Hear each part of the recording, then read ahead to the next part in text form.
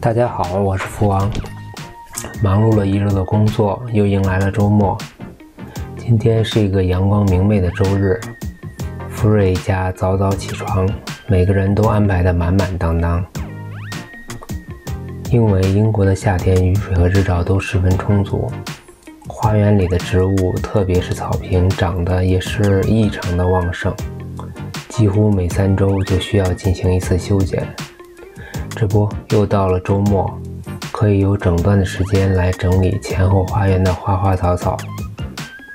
后面的花园面积不大，我和 Cherry 重新设计一下，只保留了小部分的草坪。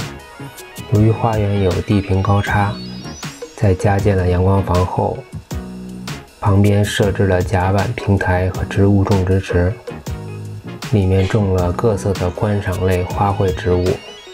配合阳光房的大面积玻璃，成功的使室内外的绿植和花卉融为一体。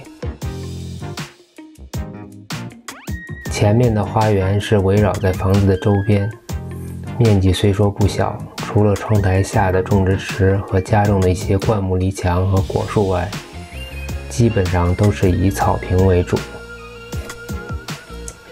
由于这部分草坪在房子的院墙之外。所以，经常有一些路过的狗狗忍不住在这里方便。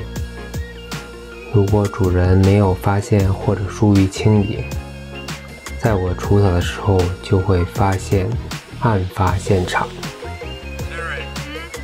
还需要个袋子，还有狗屎。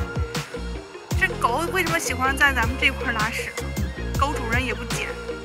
下次我们这儿竖个牌子，禁止狗在这儿在此处拉屎。咋了？咦，好恶心啊！Beni 的日常是学习和运动。Benny 喜欢篮球，可能是因为受我影响的缘故吧。看 NBA，在自家的车库前打篮球都是必备项目。英国的篮球运动是个冷门，除了体育馆内的室内场，室外场地只有在个别的公园里才有。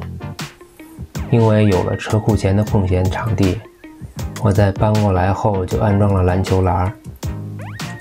这样的话，只要有有些时间，我就和本尼可以一对一的对战几局。从一开始我随手可以大帽本尼，到现在他长得跟我一样高，跳得比我还高。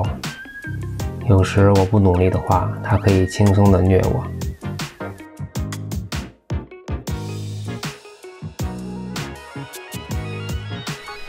克洛伊和几个小伙伴约好了去学骑马，我和切瑞来来去去就成了车夫和摄影师。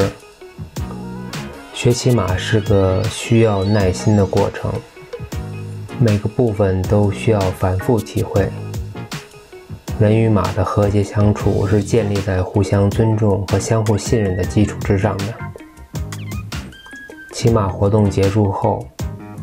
克洛伊按照计划在市中心的书店买了很多的嗯漫画书。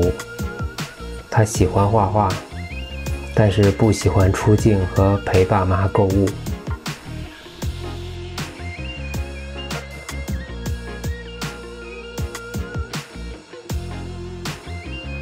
老楼，家里今天买了这么多漫画书，开心不开心